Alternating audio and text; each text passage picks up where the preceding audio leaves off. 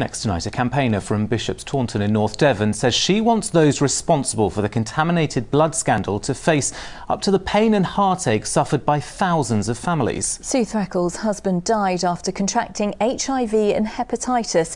She will give evidence to the contaminated blood inquiry in London tomorrow, as Nick Smith reports. They sat back, in my opinion, and watched the spread of AIDS into the UK. And in 1985, Bob was diagnosed with HIV. For nearly four decades, Sue Threakall has been looking for answers to why her husband and more than 3,000 others across the country died from contaminated blood products.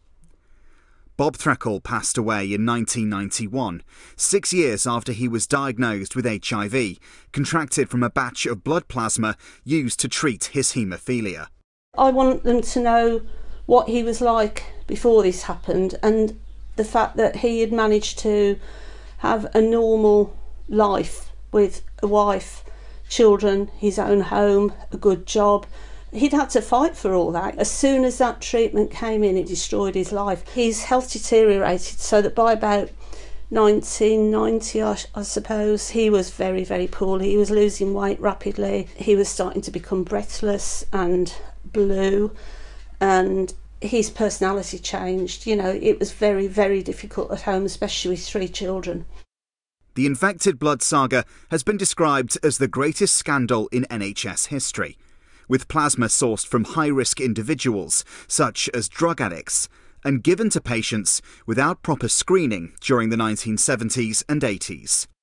An inquiry is currently underway, and tomorrow Sue will present her case to those she deems responsible. I think they are terrified about what's going to come out. I hope they are.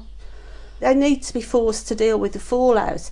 And if these people have to be dragged kicking and screaming into that inquiry room, fine, so be it. We're not going to shed any tears over that. It's no good them sitting down and saying, oh, well, it was a long time ago. You know, I can't remember very well. It was a long time ago for us as well, and we remember every minute. The Department of Health says it is committed to being open and transparent in the inquiry. And Sue hopes by telling her story, she may help herself and others find the closure they've been desperately seeking. Nick Smith, ITV News, Bishop's Tawton.